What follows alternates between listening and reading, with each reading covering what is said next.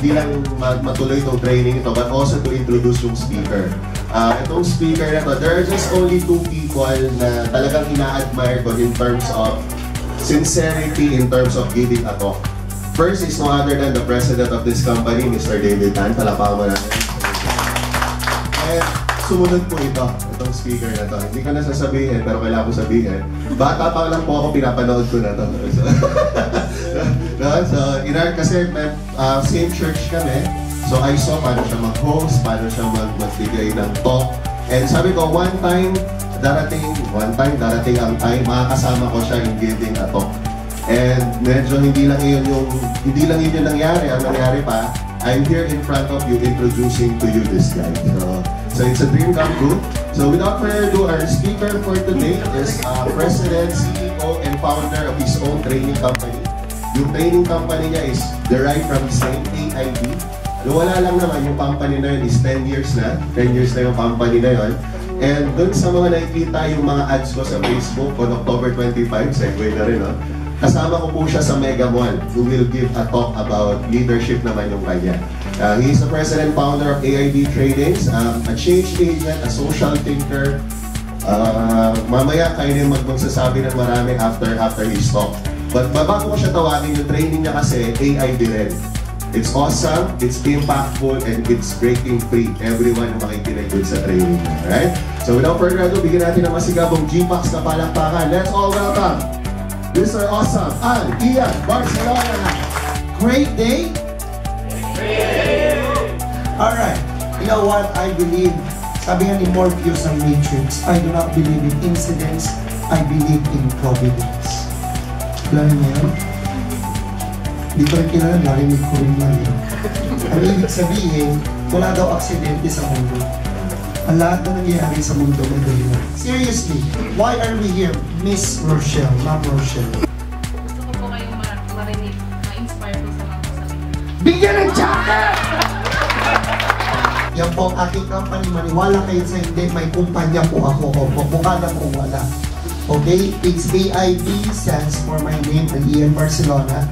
It's a training company. We, we've been conducting trainings and seminars sa buong Pilipinas. Kaya networking, network marketing, Maraming mga tao pumapasok sa networking, ang mindset, papasok mag-enroll ako, kita na ako, sino may sabi sa'yo? Kaya nga networking, hindi net sitting. Pag ikaw pa nag- nagtanim ka na gano'n ng buto, titigan mo lang, wow, lalago, lalaki, puno ka na. You have to nurture it. Alam niyo, walang responsable sa mundo na mis kung miserable ang buhay mo, successful ka, kung di ka. Are you with me? Alam niyo ba may mga tao na bubuhay sa paninisi ng dugo? Yung iba nga sabi ko niya, okay naman sa ganitong pamilya, oh by the way, you can choose your family. God chose it for you. But you can choose your next or future family. Correct? Good thing you chose the right network marketing family. Kahit ang pag-net, alam niyo sa lang, wala madaling trabaho. Tama? Pag madali yung ginagawa mo, hindi trabaho yan. Hello? At walang kami sa tagumpay na hindi mo pinagsikapan. Pero no matter how serious the way we do things, listen up. Do not forget to loosen up. Alam niyo, sa totoo lang, here's what I found out through the years. Are even joining network marketing companies or any direct uh, selling companies for that matter sa galing ng mga presenters, speakers, and trainers. Bakit? Kasi it infuses energy. And there are no boring seminars, only boring speakers and trainers. And there are no boring businesses or any job or any work, only boring bosses and managers. Alright, I used to host a TV show called Perspectives. I co-produce and co-hosted the show with then Marikina Mayor Marides Fernando. Perspectives. Did you know that life is a matter of perspective? Bakit hanggang ngayon napakaraming tao ang nanilure at tutokso sa scam? Tanungin niyo ako bakit? They are having the wrong mindset because they lack an intellectual or proper perspective. Pag tao, limitado ang alam mo, hindi paniniwala mo kung ano yung naririnig mo. Tama? And that is why in this company, we don't just sell our products. We train leaders. You agree? Because only leaders will produce exponential results. First and foremost, let's define. It is is an instance of success for any activity. So, ibig sabihin, pag may ginawa ka, nagawa ka, magaganda na lang ha, maganda na hindi mo inaasahan o na-discover mo yung potential mo, breakthrough pala yun. Hello? Example, kapag may iniimbita tayo, hindi para sa akin yung network marketing. Kaya yung iba alam nyo, karamihan sa performers ganitong business, yung mga hindi nila inakala na parang dito sila because they have attempted to try. And there's no harm in trying, especially kung mabuti ang susubukin mo. You will never know a thing until you try it. Are you with me? Yes. Yung pagpunta nyo na lang ngayong gabi, you could have spent this elsewhere, doing something else. For me, this is a simple step to breakthrough. Ask me why. Why? Because you are not actually spending, you are investing your time to learn. Yes. Correct? Palakpakan po natin ang ating. Question is this, are you willing to have more breakthroughs in your life?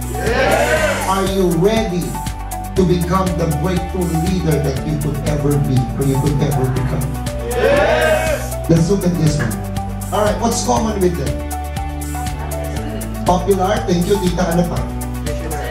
Visionary, successful. Thank you very much. All those answers are true and precise. But listen, these people, what's really common with them, they have powerful, not just mere, but powerful influence or influences. Religious, sports, technology, entertainment industry, expectations. Can we read all together? Number one, what leaders are. Number two, leaders should be. And why do we need leaders? Ano po ba mga qualities ng isang leader? Sir, Creative. Creative. I love that. Pag ang leader ba creative, nakaka-inspire? Correct. Thank you, sir. Ano ang quality ng leadership para sa'yo? Patience. Patience. Because it's a virtue. Pangalan patience, apelido virtue. Virtue, patience. Okay. So ang leader dapat mahaba ang isip niya. Leaders. Hardworking and smart working as well. Kasi maraming leaders, they work so hard, but they fail in many areas in their lives. Kaya kami kasabihan, smart people hires or hire hardworking people. So I'd rather be a smart person or smart leader, one of the smart people who would eventually hire hardworking people. Hardworking and smart, very good. Ano ba po? Qualities of leaders. Yes, is that Influential. influential. Yun daw ang totoong definition ng leadership. Nothing more, nothing less. Are leaders born or made? If I may ask you, are leaders born or made? No. Why? Kasi walang pinanganak, may corona kagad, di ba? Na may title kagad. Tama, sa politics, sa government, pag nasa monarchy ka, you're born to be a leader if you're the son of the king. But it doesn't mean, it doesn't wake you up already as a leader. Tama? Kailangan mo ng training. Building personality beyond its normal limitations. And the difference between successful people and unsuccessful people is the word extra. Because successful people, they do things extraordinarily well. Dalawa lang uri ng tao sa mundo. Isang gumagawa, isang natutungan. Saan ka doon? Everything rises and falls on leadership. Gusto nyo maintindihan kung paano yan? Simple lang. Show me your children, I will show you the kind of parents that or those children has. That is family leadership. Show me your, your, your students, I'll show you the kind of teachers, trainers, mentors, professors they have, they've had because that's academic leadership. Show me your network marketing company, I will show you the kind of leaders this company has have. This company will grow depending on the works of the leaders. Sa ibang kumpanya po, hindi, basta magbenta ka. Teaching people to sell without training them is killing your business. Pag walang training, walang lasting na negosyo. Alam niyo po ba, ilan taon na Sir David, ilan taon si Jonah at yung management natin? In their mid-30s, late 20s, ang baba ng mga leaders. Ngayon, hindi na pinag-uusapan ng edad. Ang pinag-uusapan ngayon, leadership. determination. Commitment precedes resources. Pag may commitment ka, darating ang mga pangangailangan mo. Maraming tao, they first need resources before they commit mali. Hindi naman tatagal. Leaders are committed. It takes a leader to chart the course. Napakadami po ng plano ng kumpanya. Sa tingin niyo, maganda plano ng kumpanya sa atin? Ako sa inyo, hindi ako magkabalik. Alam niyo ba, napakaraming manager but they suck. Tanungin niyo ako, bakit? Magaling sila mag-manage sa sistema at proseso, but they can't manage their people. Ang pinakamalaking problema na sa workplace, people problem. Kaya many employees quit, not their jobs, but their managers. This company will give you the opportunity to learn. Ito yung natutunan ko early on sa network marketing industry. Apat kayo, tatlo, lima, yung isa hindi pa kaya mag-present, pero ang, ang skill niya, magdala ng mga tao. Tama? Yung isa i-assign mo, siya mag-present. Kasi tamad magdala ng tao yan. Pero pag daldalin mo, game siya. Tama? Huwag mo siya asahan doon. Pero asahan mo siya, siya naka-assign mag-present. Yung isa, hindi siya dadaldal, hindi siya magdadala ng tao, pero siya mag-a-arrange sa pagkain, ng venue. Yun ang gusto niya. Tama? Kailangan ng ingredient, Brad. Hindi ko kayo chop suey pag walang ingredients, tama? Yung isa, hindi siya magsasalita, hindi magdadala ng tao, hindi mag-arrange, nagaupo siya, at least nabawasan na yung mga pupuning upuan, di ba? Kumpleto na. O, at least may papel pa rin siya, di ba? May halaga. Letter L stands for Leaders are Learners. Tanggalin mo ang unang letter sa salitang learn, what will be left? Earn. Do you want to earn more? Yes. Learn more. Letter E, can read all together. Go. Effective enough Iba ang efficient sa effective. Efficient, attendance, report, efficiency. Teacher, efficient, gumawa ng lesson plan. Pero nung nagtuturo sa classroom, boring, walang nakikinig, hindi creative, hindi siya effective. Efficient lang siya. Letter A stands for, must possess the right attitude that is contagious. Anong tinatanong mo sa bata? kung may maganda o masamang ugali, sinong nanay mo? Sinong tatay mo? Tama? Letter D stands for driven, dedicated, disciplined enough to deliver not just results, but exemplary results. Pinamis mo 12, diniliver mo 7, may utang ka pa. Uulit pa kaya sila? Alam niyo bakit nasira din network marketing? Yung leader, pagdating, may problema sa buhay, nahalo masyadong personal, inutangan yung mga tao niya. Nawala ng credibility at integrity.